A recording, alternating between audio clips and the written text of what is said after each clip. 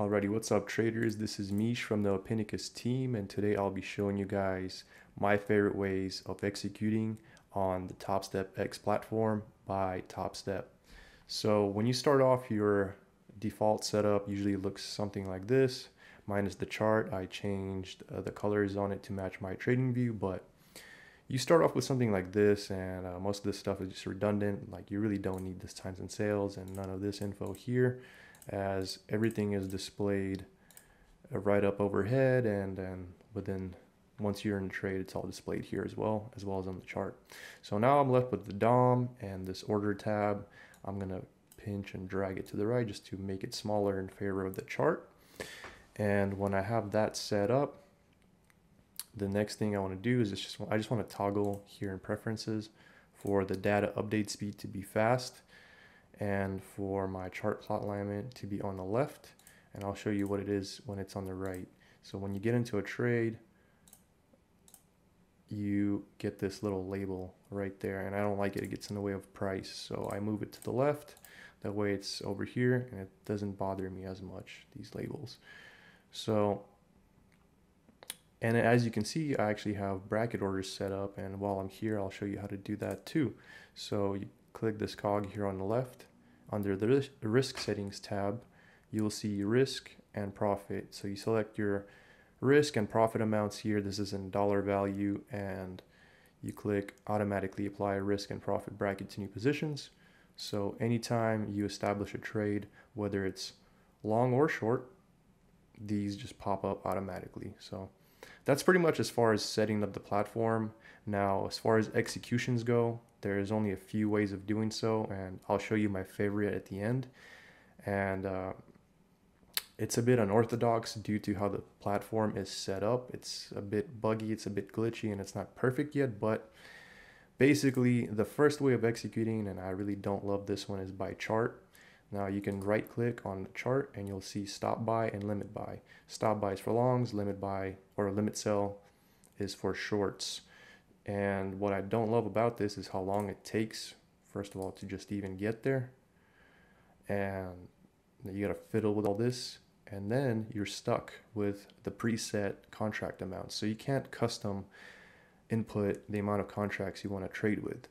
So if I wanna trade with seven or eight contracts, I'm basically stuck to try and put out an order. Let's say I want eight, I'll go to um, 248 or 485, sorry, 2485 click stop buy, select four. Now I still need four more, so I'm gonna go to that same price and do that again. That just takes super, super long. But once that uh, limit order is out there, you can click it, drag it around, move it lower, and so on. So yeah, it takes long, don't love it. Alternatively, you can utilize the DOM here, and if you're kind of lost within it, you can't tell with this, like you're scrolling around, you can't find your price. There's an auto center feature here. If you click that, it keeps it auto centered on whatever the current price is.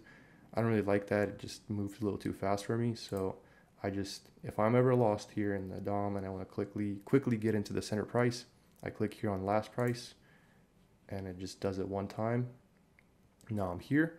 So now let's say I want to get over, uh, get in over this 2481. I'm going to scroll up in the DOM select my contract amount, which is let's say 10, and then I'm just gonna right click on the bid side. And that worked, but sometimes when you click it fast, it can do this. Let's see, still working, still working, but still working. Okay, but sometimes it does that, and I really don't like that. That could be very detrimental to a trade that I'm trying to put on. Sometimes when you click it a little too fast, the web page will think that you know you're trying to do something with the browser but not the actual um, TopStep X. And also there's another glitch, it's not currently showing, but sometimes when I put an order out there, it auto cancels itself just randomly. And it's seen like that. And now it's working again. It's, it's very glitchy. I don't like the DOM. I know some traders can uh, make a killing using the DOM, but me personally, I have a different way and let me get right into it. Now my method is a little bit unorthodox. Uh, I trade both the chart and these buttons, but I try to make the best of it due to this um, platform's limited abilities. So what I'll do is I'll basically preset my amount that I want to buy here. So like 10 contracts, let's say. And then here I'll have one or two. That way I can scale out using these buttons. So when the price reaches my desired point, let's say I have a limit order here normally or through the DOM. Well, with my method, I'll just wait till price touches that area and I'll just click market buy. So once it's through that area, I would click market buy as if a limit order was there anyway.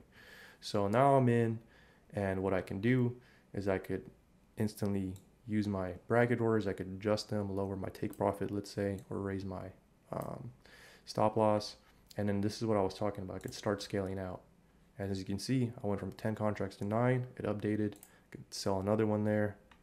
And if I turn on my executions, you'll kind of see I was just messing around with this, but uh, you could see them start to pop out. So there's another one. Um, but yeah, the executions are a little messy. I don't love that, so I usually have them off. Uh, they don't really show the arrows exactly where I want them to be anyway. But this is pretty much my method is I just market buy where my limit order would be by watching the price closely. Then I offer out here as the price trades into my take profit. And if it goes close enough to my take profit where, you know, I might be interested in taking the order into break even by clicking this break even button here.